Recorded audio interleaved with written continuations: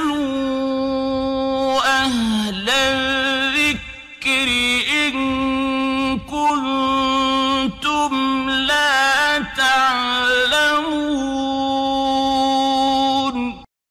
ওয়ালাইকুম আসসালাম রহমতুল্লাহ বরাকাত প্রশ্ন হচ্ছে কোনো কারণবশত যদি রাতে বিতির আদা করতে না পারি ফজর হয়ে যায় এই ক্ষেত্রে আমাদের করণীয় কি হবে আমরা কি বিতির নামাজকে পরবর্তীতে পড়ব নাকি না পড়লেও হবে বিষয়গুলো স্পষ্ট করলে উপকৃত হব আলহামদুলিল্লাহ ওয়াকাফা ওসালাম আলা ইবাদিহি الذين اصطفى أما بعد قال النبي صلى الله عليه وسلم صلاة الليل مثنى مثنى فإذا خشي الصبح صلى واحدة فأوطرت له ما صلى নবী সাল্লাহ আলী ওসাল্লাম ইরশাদ করেন রাতের নামাজগুলি দুই দুই রাকাত করে কেউ যখন ভয় করে সকাল হয়ে যাওয়ার সে যেন বিতির পড়ে ফেলে এক রাকাত ইতিপূর্বে যা পড়েছিল এর মাধ্যমে সেগুলো বিজোড় হয়ে যাবে।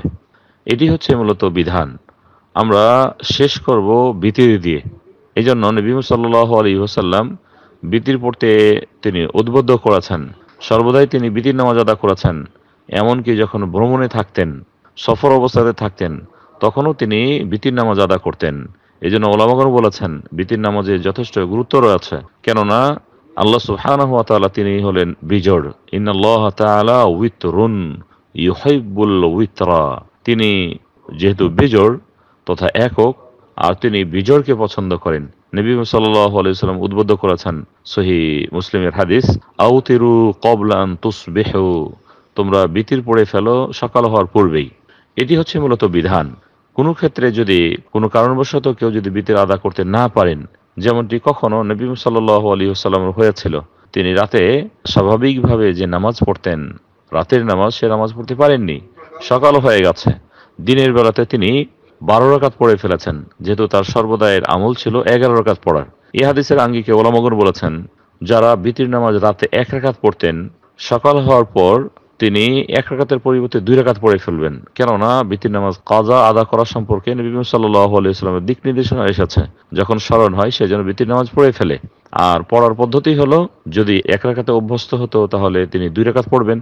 আর কেউ যদি তিন রাকাতে অভ্যস্ত হন, প্রতিনিয়ত তিন রাকাত করে পড়তেন বিতির এই ক্ষেত্রে দিনের বেলাতে চার রাকাত পড়বেন। আর যখন চার রাকাত পড়বেন, তখন উত্তম হবে দুই দুই রাকাত করে ভেঙ্গে ভেঙ্গে পড়া। কেননা নবী সাল্লাহ আলী সাল্লামের বিভিন্ন হাদিসে হচ্ছে যত নফল রয়েছে সুন্নত রয়েছে সেগুলো দুই দুই রেখাত করে পড়া এই জন্য আমরা পরামর্শ দেব যেহেতু রাতে আমরা বৃত্তির পড়তে পারিনি দিনে সেটা পড়ে ফেলবো যখন সহজ হয় যখন স্মরণ হয় আর পড়ার ক্ষেত্রে আমরা জোর করব আল্লাহ তাআলা আলাম أشرقت نفسي بنور من فؤادي حينما رددت يا رب العالمين